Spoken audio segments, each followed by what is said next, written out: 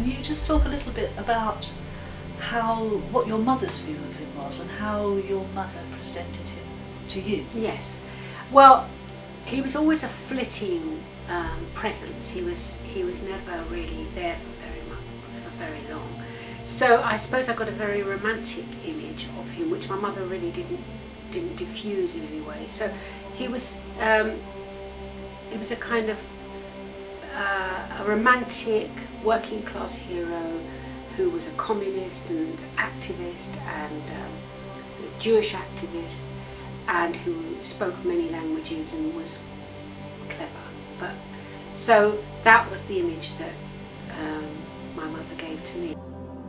The, the problem I've always had with my father is my mother didn't write the word till she died. She didn't tell me that they weren't married. I always assumed they were married. So if you can't, so there was never a discussion about uh, why she wasn't married. So I didn't, I, I didn't really know of the existence of my father's family until after she died, his, his family in Belgium. Um, she found um, having a illegitimate daughter deeply you know, stigmatising at that time. So the only occasions on which you met him were as a result of illegal entries that he Yes. into the country. And in fact, he came to my wedding. Aware of the other family long before you made contact. Yes, I was aware of them after my mother died. Well, I think I saw him um, a couple of years after my mother died, so early 1970s, and then I lost contact with him. And I think it was me stopping. I stopped writing to him. We used to write occasionally, um, and I, I think I was quite angry. Uh, Were, were you Uh, angry on behalf of your mother or angry? I was just because I couldn't write to him direct. I could only write to a poste restante address. Also, I know, knew then that I was illegitimate, and I knew then of the other families because I'd other family because I'd read about it in the, the documents. So I suspect that I was quite cross, and I had also a young family and other things to think about. So I, I stopped writing, much to my shame. Now, actually, I feel that I should have gone on.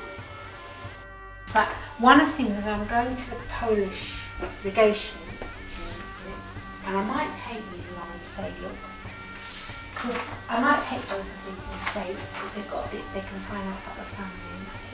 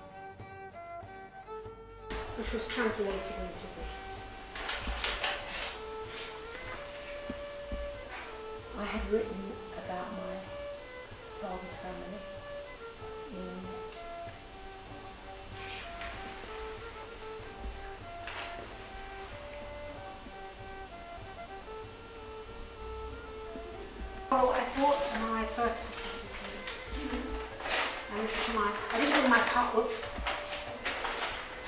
And this is my passport. I didn't have my, no, I bought, um, oh God.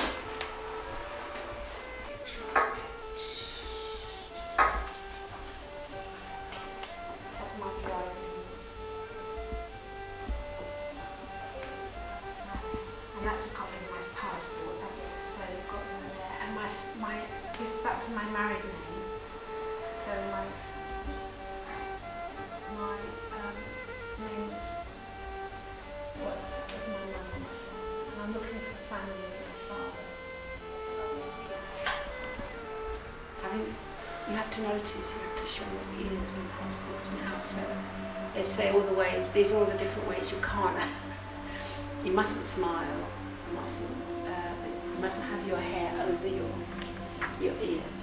Here, it's quite interesting. I will show you ears, but if you if you're a Muslim you've got a, you know a shawl, you don't have to show your ears. I think it's very it's very pale. But Yeah, but, it's- yeah, but it's not the part, it's the, it's the chip or the barcode is the crystals, and they can bring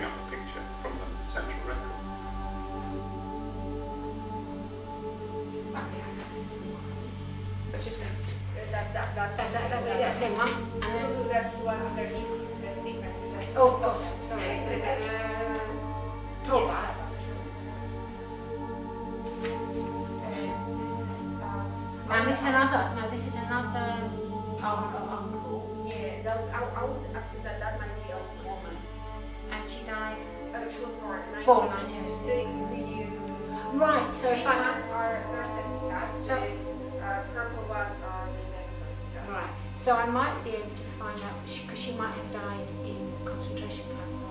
So I can, I've got a name now.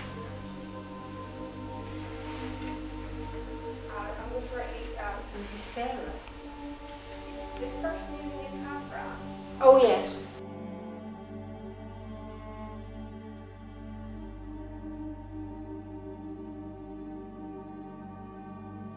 Okay, but can you describe the process that you went through in tracing your relations in Belgium? Yes, yes. Took the opportunity um, of a visit, a business visit to Brussels, to um, try and find out if I could track down evidence of my father. Um, because uh, while I was uh, in the, there was very little in the British records. Um, so um, I went, I had uh, done some surfing beforehand and I'd uh, located the Jewish Museum, uh, Brussels. He had a lot of um, uh, identity card applications uh, in his file, and uh, they always were accompanied by photographs. So I had these these photographs of him as he grew older, and it was that was very exciting as well.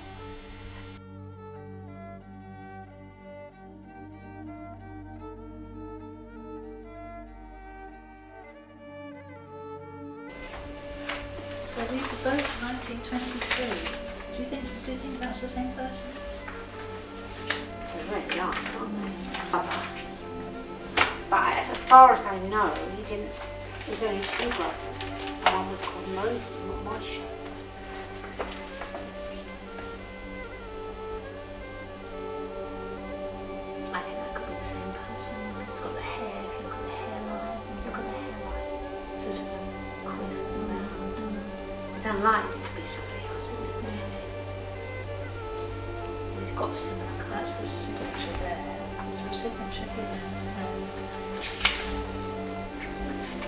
But you know, um, he, there's Enselfrucht here comes up, and there's, and in fact, they, they say that he said it was 1997 his birth, that one. But anyway, I mean,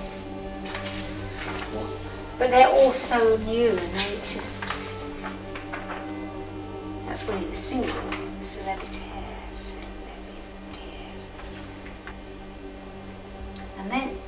1890. Lawrence, 1st of January 1897. Now his birthday is, is the 20th of September 1901. So this could be another. Man, but he looks so like him. You know, I can't believe that. And it's all got that quiff here. Yes, yeah. I just can't. So I don't know whether he was. I think this is him, definitely. And that's his birthday, you see. Um, and maybe that was the one that, you know. But he's such a handsome, he's so kind of. Woods. It's spelled Lodz, but it's Woods, which is where my father's family came from. And he says that 80 of his family, 80 members of his family, died in Woods. And I think it was in the ghetto. They had a ghetto in Woods, and then that was cleared. And 80 members of his family died, including four brothers, two sisters, all their families, plus um, their parents. And my father left um, much earlier. He left in 19, 1923, so he was long gone. But all his family died.